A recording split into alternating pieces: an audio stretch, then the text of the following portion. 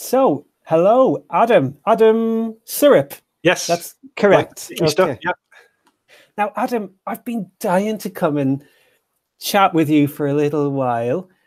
You won an award, BAFTA, a BAFTA award for the work that you've done around video games with opportunities for young people. You must be so proud of such an achievement. Yeah, uh, shocked, surprised, um, a little bit amused. Yeah, so BAFTA have um, they they have the film, television, all the big stuff. Um, they have games because games are now sort of the business of games is sort of getting bigger than film.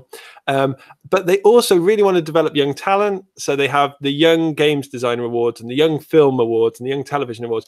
And so within the Young Games Designer Awards, there's actually an award for a mentor, people who inspire young people into game design.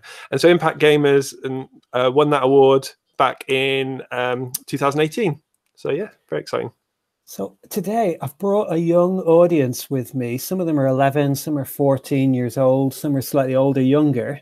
Yep. And they'll be wondering where on earth in the world you may be. So can you tell us a little bit about like where you live in the world or yeah yeah. So in in I've been in Bradford since 2000. Came here for university. Um, I live in the BD6 area, which is South Bradford, but I work in BD5, which is a bit more central uh, around West Bowling. And so you said you came to Bradford. Like, what age were you when you came to Bradford?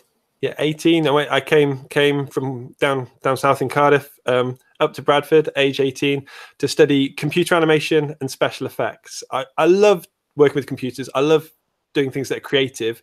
Um, and there was only two computer animation courses back in 2000, Bournemouth and Bradford, um, and Bradford was just the friendlier place, so I chose that. Gosh, that's that's quite incredible because I think some people watching this would think if you really want to, you know, win awards, you know, in video games or study, you'd have to get out of Bradford as quickly as you can. You're you did the opposite. You you've come from South Wales yeah. into England to yeah. Yorkshire to Bradford to study in you know in, in video games and, and, and, that sort of thing here. So that was at the university. Is that right? Yeah. So yeah, I studied uh, computer animation and special effects, but it was part of a a whole department which had uh, games design and video production.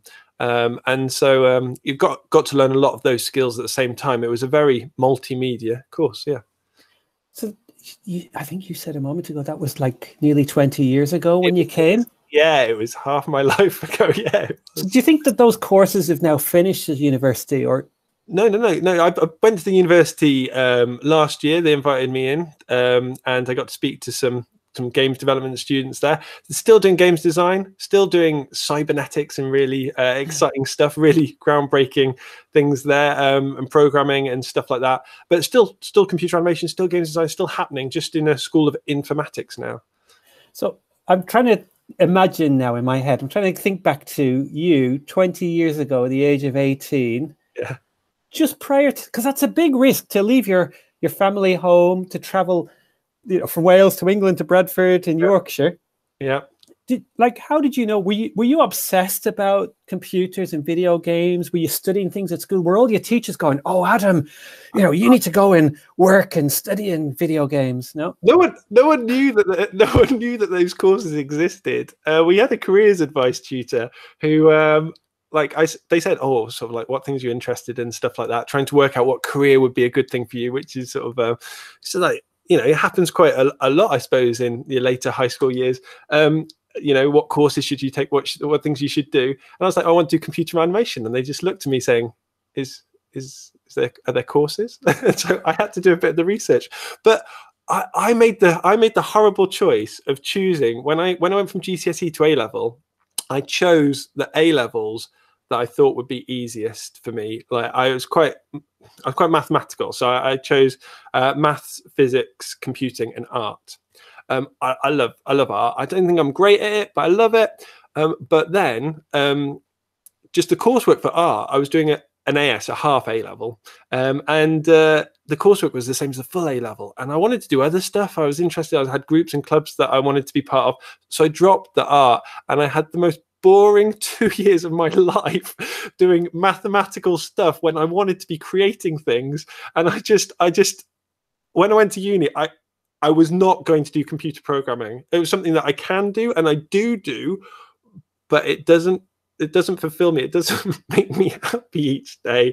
It's very repetitive in terms of this, this, this, and and that's I like things being different all the time, and that's how I ended up uh, where I am with Impact Gamers because I like I, different things. I wonder, did we have the same careers advisor? Because I wanted to go into design or architecture, and I, I they told me maths and physics, maths and physics. So I was learning all about yeah. mechanics and equilibrium and all these kind of things. Now, maybe if I'd gone for a career into video games, physics and mechanics might have actually proved useful rather than computer science is the, the path I went down. Yeah. So so you, you left university a few years later, and then yep. what? You got a job in the video games industry. You no. develop apps for consoles, or no? No, no, no, no, no, no. Um, I, I am. Um, I kind of, I fell in love with the city of Bradford, um, and sort of um, made some really good friends who are doing community work, um, and ended up being um, so uh, it's like a pupil referral unit for kids who are struggling in education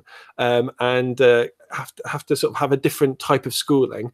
I ended up being a tutor there, um, and I ended up sort of doing a lot more kind of youth worky stuff. But all the time, I had loads of freedom about how I taught things. So we did it through we did taught through skills through uh, filming and editing, um, by doing some game making. And I use game making because coding and programming uh, and game making are, are, are different. It's, uh, you know, it's, uh, you know, it, it, it's very technical to be coding and, and programming, but game making is much more expressive and creative. There's more art involved. There's more English and storyline and stuff like that. Um, and so within a games design environment, you, are likely to find something that suits you. You might really like the uh, the game testing and reviewing and trying to break the game. You might really like the design. You might really like the planning of the story. You might like the artwork of creating the characters. But it all pieces together in this, like I've said, multimedia before. This multimedia way um, to to create an end product. And so um, we used some software just that made it much simpler. So there wasn't much coding, but a lot of games design aspect. So you mentioned earlier when we were talking about the BAFTA Mentor Award, you said Impact Gamers. Yeah.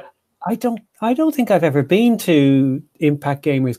somebody watching this, they may not have heard of it. No. What, tell it. What is it? Is it for everybody? Yeah. What, well. yeah, I, it, it is for everybody, but we work with young people. So uh, we work from seven to to 18 year olds. Um, and uh, what we do is we're there to inspire young people to be creative with computers, and we use game making for that. Um, it's the game making is part of what we do, um, but the other thing is that we're, we're there as a as a group. So we're there as a sort of social entity. We're there um, to um, to improve self esteem. We're there to um, uh, sort of grow their confidence in different things, um, but at the same time teaching them skills as well. We want them to go to Impact Gamers and make friends and um, and make games at the same time. So it's not just lots of people sat down all coding on their keyboards. No, no, no, no. no.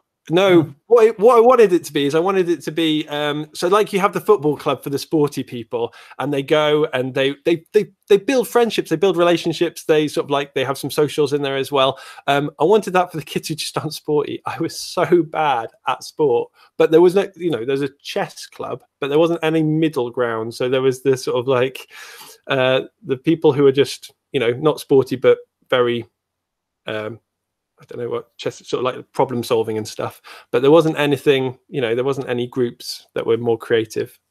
So forgive me for asking, but why would somebody physically need to come along? I mean, there's there's lots of online party social games. You know, could they not do this in Fortnite or uh, you know, even in a sort of uh, sand what's Box. it called sandbox, sandbox environment. Yeah. Like just yeah. hang out with each other and sit around and just not shoot each other and stuff. Yeah. could they not do that instead? They, they could. They could do that. I tell you what, it's very tricky um, to actually complete anything when you haven't got someone there to mentor you, to someone to support you. Um, ah, so, okay. so, yeah, so that that's if I probably started about making 30 to 40 different games over my teenage years. I completed making them. I probably completed one, but not as well as I wanted to. Because you change ideas or you get stuck, something happens, and you just you just give up on it, and um, and you haven't got someone to, to guide you along and say this is what you should. This is how you could improve it, and this is what you could do, uh, and you haven't got the encouragement. So you get a bit, get to a right. boring bit of the game. I get you now. So this would this be like the Obi Wan character Oh, in Star yeah. Wars Yeah, and we're, Luke. we're totally the Jedi Masters and the Padawan. Yeah. So Luke is like, I'm not sure if I can be a Jedi, and how do I use this lightsaber thing? And then, and we teach the way to the Force. That's exactly that's the best way to describe Impact Gamers. Yeah. okay, and that's what you got the award for, the mentoring. Ah, you see, you see, see, some people I've spoken to have said, no, you don't need to go to these things. There's so many YouTube tutorials. There's this Unity course you can follow, and you can learn all that stuff yourself at home. But you're saying, well, that's useful, Alan. But if you don't have a mentor, you're going to start lots of things and never finish or Yeah. complete or achieve anything. Yeah. Is that I, is that yeah, exactly. Like in going to university, I could have learned those things at home, but I didn't. You know, I had course tutors, I had people alongside me at the university doing the same things to bounce ideas off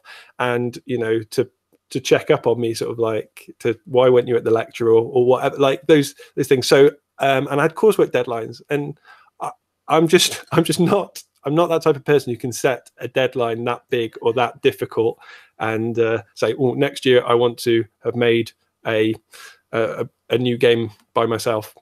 Um, I I need some people around me to to do that. Work as a team.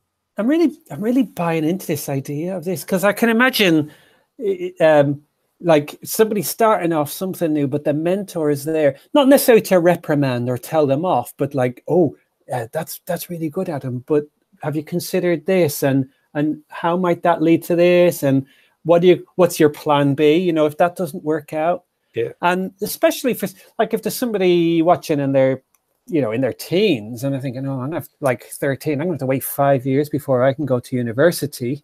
Yeah, Something like Impact Gamers, they can go there and they can already be mentored. It may even be that by the age of 18, they've already figured out exactly what it is rather than Yeah. wait till they get to university yeah, to, to figure that out. yeah. No, that's the danger, isn't it? Is sort of that uh, if you if you wait till university to try things out, like you said, it's a huge it's a huge commitment, and, And it's uh, a big risk as well to Yeah. then find out, no, actually, I chose the wrong course. And it's not Yeah. so easy to start all over again. So, how do people find out more about the opportunities that Impact Bradford, Impact Impact Gamers. Bradford? Yeah. Um, Yeah. So um, Facebook is um, sort of a useful way that we communicate. Uh, we're Impact Gamers BFD for Bradford.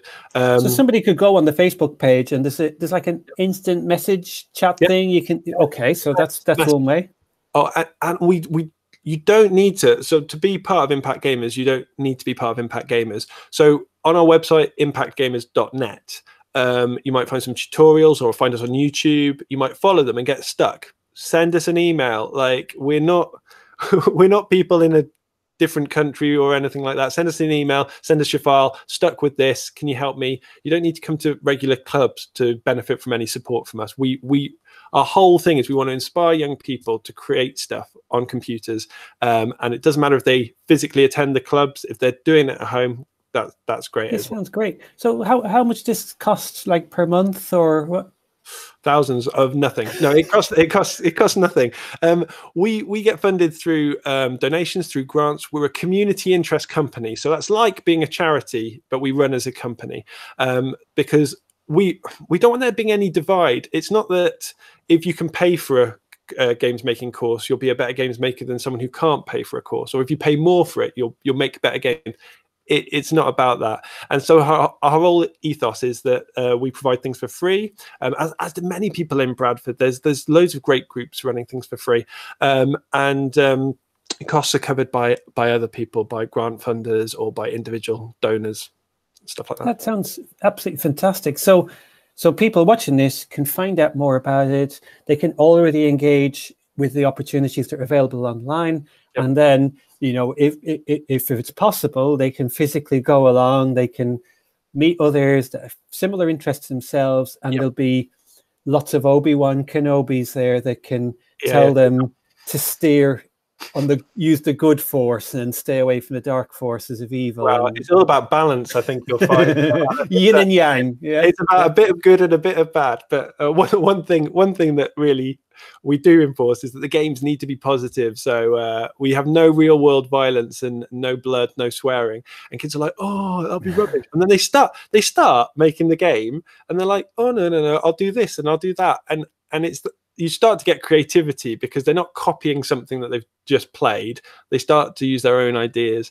Um, and there's plenty, you know, there's plenty of games that have uh, gone on to to make millions and millions that don't have any blood or violence uh, in and stuff like that. It's all about the So- enjoyment of playing.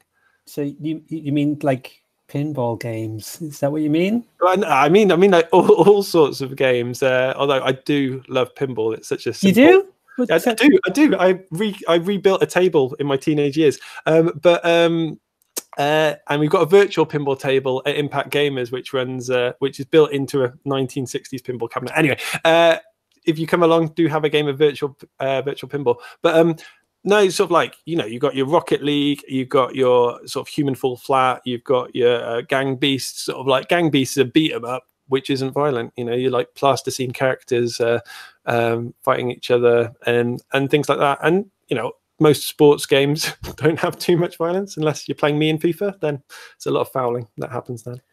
Now, Adam, you you sound like you're somebody who's very, very passionate about providing opportunities for young people, but also you you sound like you're very, very much interested in in games.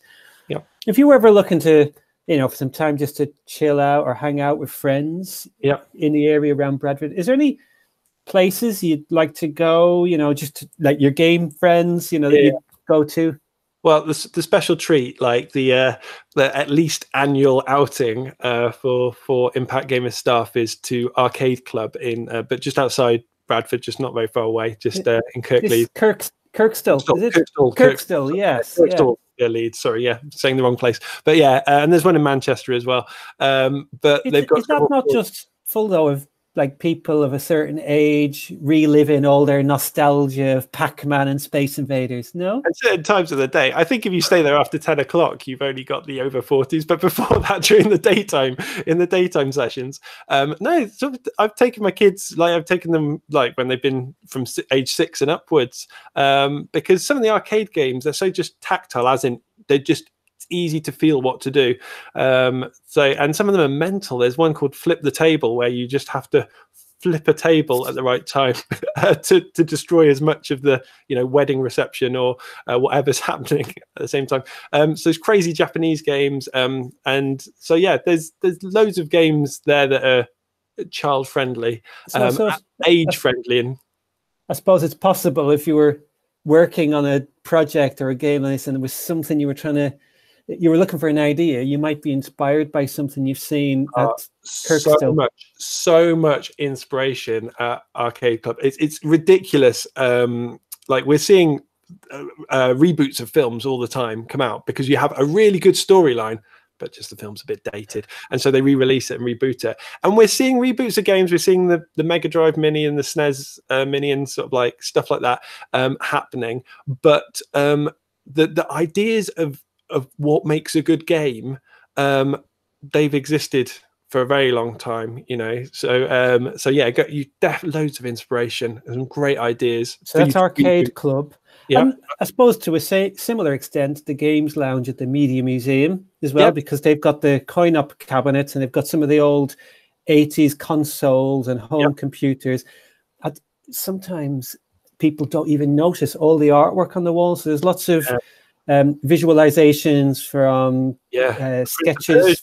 And there is um, Yes. some fantastic stuff of the original sketches that we do a show called the history of video game and we take you through uh, most of the games that are in the uh, in the museum uh, and it's absolutely incredible the the way that they had not much technology but made games that were at the time breakthrough so you Didn't you do this at the Games Festival in 2020? Was it Yep. February 2020? yeah yeah yeah we did the Pictureville Cinema. Yep. And you had all of the audience all engaged and like people on one side of the audience. Made our own Mortal Kombat. Um, yeah, yeah. and there was like, people on the stage taking part, and there was people in the audience. Wow, that was like that was such a, an enjoyable. I, I was in the audience then, and I, oh, it was so fun watching people of all ages trying to, you know, get involved yeah. in this. Yeah, so that's a show that we tour, and so you might you might end up seeing that at some point, hopefully. So. Might there be any other opportunity people need to look out for the future? Like anything big oh. that's coming in in terms of games industry? Totally. Like esports, it's it's crazy. It's it's great. Like um, so we've you've had the kind of the, the age of tutorial of people saying this is how you do minecraft well and this is how you you know do this well and this is how you unlock these cars in forza and stuff like that um, and we're now moving into clubs and groups working together and it's been happening in asia so esports, people going along watching uh, sort of these these sort of massive multiplayer games where people are working in squads, or it might be a first person shooter, or it might be Rocket League. Rocket League is just like taken off now; it's released for free massively. Um, to allow people to um, compete in the same way that a sports group would compete. So it's so they're having the same sort of social engagement with each other like um like we want at impact gamers but this time it's not about creativity it's about teamwork and play um and yeah esports i imagine a lot of the empty venues in in the town center uh, could quite easily be converted for esports and i know that the museum um, each year at the games festival try and introduce more and more esports and hopefully there, there can be venues set up for people to come and play um, to play rocket league to play sort of F1 racing is another classic one, um, or sports or FIFA or things like that. Um, loads of different things, but people working together and uh, having friendlies and having competitions. And we we really really want to help enable that in Bradford, having some more inclusive play. It, uh, it was it was quite something. The games festival, the one we the last one that we are talking about, and there was representatives at the last festival from the British Esports Association, yeah. and there were, to, you know, there was live demonstrations. The audience yeah. could take part, and there was people there who were happy to explain more about how to become more involved in esports. Yeah. And the, also, uh, do you know when we were having our conversation earlier about retro games? One of the things I thought, I don't know if you're aware that um, it opened about a year ago in Bradford, Geek Retreat so it's a oh, board yes. game. It's so it's a board game yeah. cafe essentially, yeah. and yeah. you go in and there's all these big tables, and you can you can buy some food and drink, and you know they do they do vegetarian and vegan food as well. The so you've got this. yes, and cookies with uh, Smarties on top, yeah. and all sorts of gooey, sticky sweets that are probably not very good for your teeth. But they give you lots of energy, and you can yes, exactly. As a power on. Yeah. So they've got a huge big wall of all of their board games. Yes. And there's a little corner with some sofas where they've got some um, recent and yeah. retro games console. Yeah. So there's, there's, I'm sure there's a NES there. There is, and, and Smash Brothers uh, tournaments and stuff as well there. And uh, it's just really great to to to. They just make it. It's fun to watch and sort of. And, and the thing as well about the Geek Retreat, it doesn't I don't think it costs a lot of money. You don't necessarily pay to play. All they do is they just expect that you're going to buy nice things to eat. I can't necessarily say that they're going to be very, very nutritious, no. but um, it, it's it's a local business, and, it, and it it's great if we can support things. Um, so Adam, it's been fantastic talking to you. You've given us loads of ideas there. Um, particularly, I, am keen to find out much more about Impact Gamers Bradford. So I'm going to go and visit the website to find out yep. about that. And I love what you're saying about mentoring because I think that's one thing that it's all very well having all these online courses and you know watching all the, the, the YouTubers and all of that. But if you haven't got somebody who can spend a little bit of time talking to you, helping steer you on the right path, and making sure that you actually finish something that you started, um, then it, it, that that's a really really useful thing to have. So thank you very much. We're going to go off and find out a little bit more about some of the stuff going on in Bradford, and um, just bear with me a moment.